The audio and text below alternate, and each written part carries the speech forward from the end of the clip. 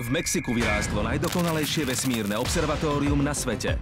Roboty ovládnu čoskoro aj morské dno. Švajčiari majú sépiu so štyrmi plutvami. Cielená terapia nádorových ochorení, úspešný projekt zo Slovenska. Svet a techniky je VAT.